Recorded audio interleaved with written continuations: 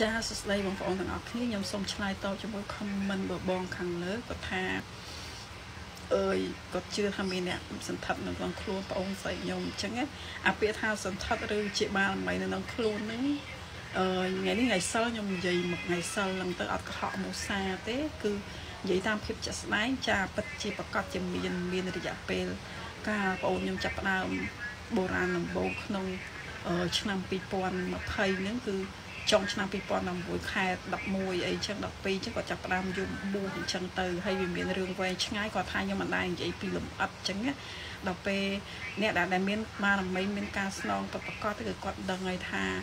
ពេលដែលគេមកនៅខ្លួនពេលដែលគេចេញចូលហើយរាងកាយមនុស្សនឹងទទួលរងនៅបញ្ហាអីខ្លះអញ្ចឹងប៉ុន្តែរយៈពេល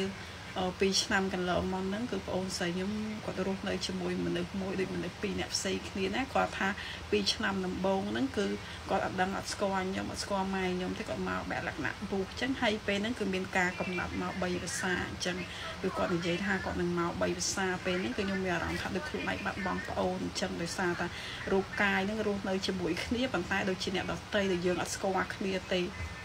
ឯការនិយាយស្ដីក៏មិនមែនជាមនុស្សក្នុងសម័យកាលរបស់យើងហើយនិយាយស្ដីហាក់បីដូចខុសប្លែកដោយភាសារបស់យើងស្ដាប់បានអញ្ចឹងណា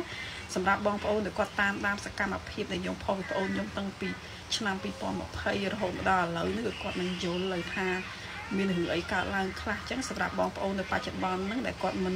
ដឹងហ្នឹងក៏គាត់មានការរិះគន់និងមិនពេញចិត្តក៏គាត់ថាយើងបំពុលសង្គមមានរឿងលំអិតជាច្រើនដែលកើតឡើងនៅក្នុងគ្រួសារខ្ញុំដែលខ្ញុំអត់បាននិយាយចេញទេដោយសារខ្ញុំគាត់ថានិយាយទៅគេថាយើងហ្នឹងបំពុលឬក៏យើងហ្នឹងនាំគេហ្នឹងមកជឿលើអបិយជំនឿអីចឹងទៅបានជាខ្ញុំមិនសូវជានិយាយលំអិតទេនិយាយខ្លះអត់ខ្លះចឹងណាសម្រាប់បងអូនស្រីខ្ញុំក៏គាត់ធ្វើទុករយៈពេល 2ឆ្នាំមុនគឺពិតជារឿងមួយដែលគួរឲ្យខ្លាចនិងតក់ស្លុតសម្រាប់ខ្ញុំគ្រួសារដែរ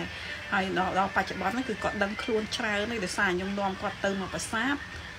តែបំបំពេញកិច្ចមកប្រាសាទគឺគាត់ដឹងខ្លួន10%អញ្ចឹងដូចប្រាសាទអង្គរវត្តពទាស្រីពទាឆ្មានិងប្រាសាទស្រីគ្រប់លក្ខនេះការនាំទៅប្រាសាទស្រីគ្រប់លក្ខហ្នឹងមកវិញគឺដឹងខ្លួនខ្លាំងច្រើនជាងគេគឺគាត់ចេះសួររកបងប្អូនក៏ដឹងគាត់ចេះលេង Facebook ហើយគាត់ចេះពាក់អាវសម័យអញ្ចឹងគឺគាត់ដឹងខ្លួនច្រើនគាត់ប៉ុន្តែគាត់ថាវាមិនពេញលេញដូចថារាងកាយមួយដែលធ្លាប់មានគេខ្ចីគឺត្រូវតែគេនឹងនៅដដែលប៉ុន្តែពីមុនមកគឺខ្ញុំតែងតែប្រាថ្នាថាចង់ឲ្យបងអូនស្រីខ្ញុំដឹងខ្លួនមកវិញប៉ុន្តែពេលខ្លះមកដល់បច្ចុប្បន្នខ្ញុំមានអារម្មណ៍ថាបងអូនស្រីខ្ញុំលែងដូចដើមហើយ